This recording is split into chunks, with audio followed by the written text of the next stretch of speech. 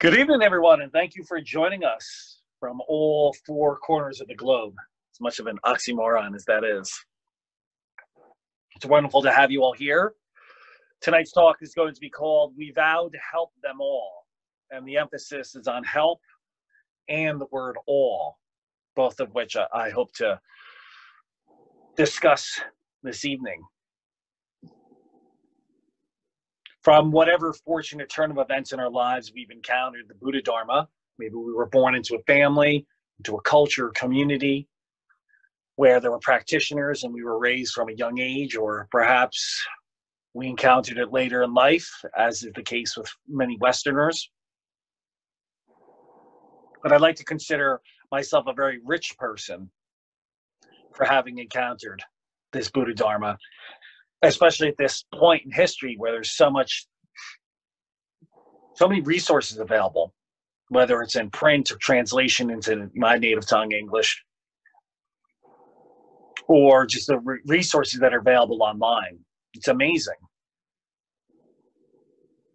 And such a wonderful opportunity for us to explore so many of the different um, vines that are that are, are branches of this Buddhist tree. Mahayana Buddhism, which then is a school of, emphasizes the Bodhisattva's vow, which is what we begin each meditation session with. And it begins sentient beings are numberless. We vow to help them all. Now, this is an unorthodox translation, I'll admit, one that I took liberties myself rendering, not from Sanskrit or from Chinese, but rather from English to English, because I'm often I often am made to uh, feel uncomfortable with the word that normally sits inside of the sentence, which is "We vow to save them all." It's a difficult question. I mean, it's a difficult uh, it's a tall order when we say we're going to save somebody. We'll save them from what and with what. Other spiritual practices make quite a bit big deal about saving people. And I think that this might be a misunderstanding of what Buddhism is fundamentally about. there are a variety of words that refer to the Buddha's awakening experience. Enlightenment, which I think is a bit of a sloppy one, realization, awakening, liberation. Liberation being the one that's the closest to, sa- to, to the word saving. But we have to ask ourselves, what, is, what are we being saved from? Well, the three poisons in Buddhism are, are seen as greed, hatred, and ignorance. The first two are pretty self evident. Being greedy makes us unhappy, makes us crave, and it makes us make the world a living hell for others. Hatred, obviously, is very similar in that we point all of our anger outwards, or sometimes there's self hatred, we point it towards an object and we make that object miserable, perhaps in the same way as greed can indirectly do that. But what is this ignorance? Ignorance of what? Buddhism emphasizes the empirical world around us, studying it, and realizing that nothing that we ever encounter lasts for very long. Nothing is permanent. Nothing can give us any therefore nothing can give us any sort of lasting satisfaction. We can get satisfaction. It just won't last very long. And that's fine so long as we're realistic about it. As long as we don't expect something an experience an event um, a job promotion praise what have you to give us any sort of lasting happiness and the last mark that the Buddha identified was that all things are without self. No matter where we search inside of our experience, we're never going to be able to pinpoint anything that we can concretely identify as me, I, me, or mine. And it's that important, very uh, fundamental teaching in Buddhism that is of the utmost importance. We start with the word we vow to help them in the four great vows. This is not I. This is not my personal project to fix other people and to get as many people interested in Buddhism or converted to Buddhism or so called enlightenment. This is we. We could be the Sangha. They could be our collective connection to all beings. But it's void of any of this ego that drives our normal day to day actions. And I recommend using the word help. The Lotus Sutra, one of the most seminal texts in Mahayana Buddhism, stresses the importance of upaya or skillful means. Somebody's drowning, you throw them a life preserver, you don't throw them a Bible. Maybe give them an oar, and you certainly don't throw them a sutra. So we have to use our intelligence as doctors, which is a very important central metaphor in Buddhism, the Buddha being a fantastic physician of sorts, where we can identify some where somebody is, what they need, and then offer them that as best we can. Now, sometimes that might be offering somebody the Buddha Dharma. Other times, it's not. It might just be offering somebody a shoulder to cry on It might be offering uh, uh, someone hungry some bread. But our goal, when we say to save, leads us down a tre- treacherous road, I believe.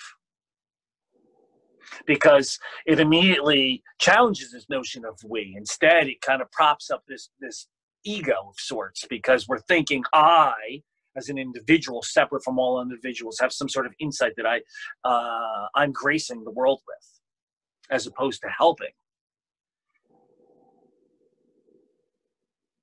Where we are right now in a crisis in America, and one might argue in the world, and the world is always in a state of crisis.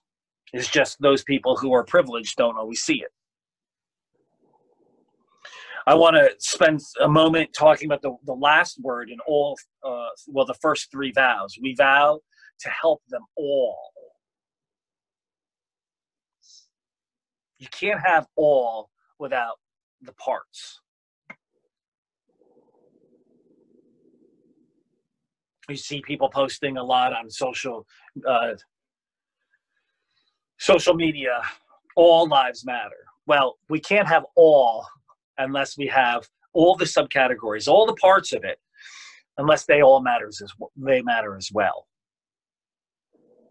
And so when we say all lives matter as opposed as a refute to something like black, to the movement of Black Lives Matter, it's obviously an intentional snub. But I also think it's losing sight of what it means to be all. We vow to commit ourselves to helping all beings tall, short, bald, hairy, brown, white, black, all beings.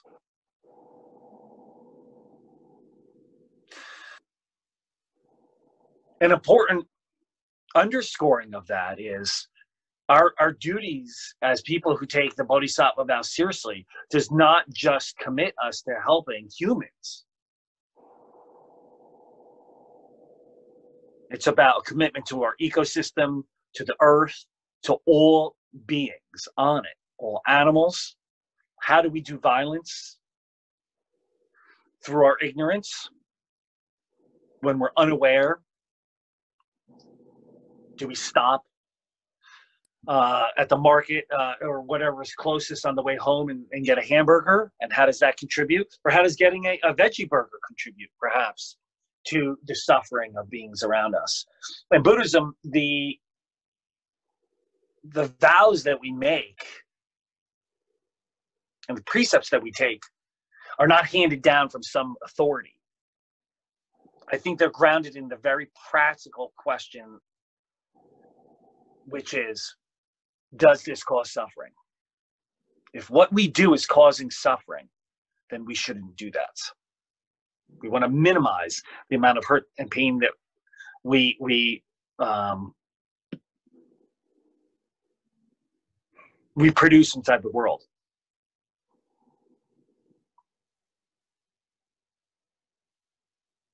We vow to help them all. It's a challenge. Every moment, due to its impermanent nature, is brand new, which gives us a brand new opportunity to practice this amazing thing called the Buddha Dharma. But the Buddha Dharma manifests in so many different ways, not just in seated meditation, not just in sutra recitation or prostrations. Rather, it's us with open arms in the marketplace. And how do we engage the world around us? As a layman, I don't wear robes. The only time I wear them is when I'm seated in front of the Zoom sessions because my day to day life requires that I wear ordinary clothes especially now that I'm home because of this pandemic.